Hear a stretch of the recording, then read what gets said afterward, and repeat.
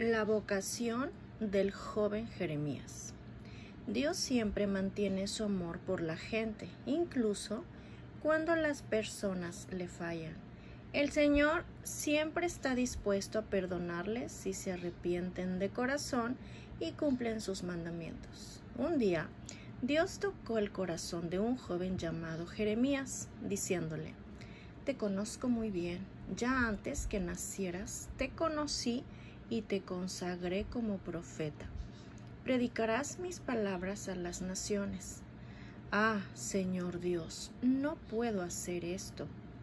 Todavía soy un niño y me falta experiencia, le respondió Jeremías. Jeremías, no me digas que todavía eres un niño, llevarás mi palabra a todo el mundo.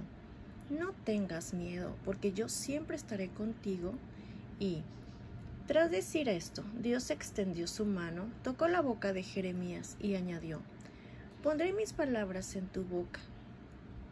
El Señor quería demostrarle que entre ellos ya había algo muy especial, la comunicación divina. Para probarlo, le preguntó, ¿qué veía en ese momento? Veo una rama de almendra, respondió.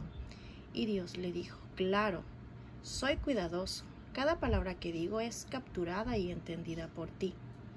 ¿Qué ves ahora, Jeremías? Señor, veo una olla en el fuego y la boca se inclina hacia el norte, le dijo. El Señor le respondió, Del norte vendrá un enemigo que rodeará todas las ciudades de Judá.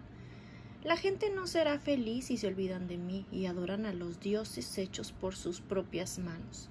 Jeremías escuchó todo con gran atención y humildad.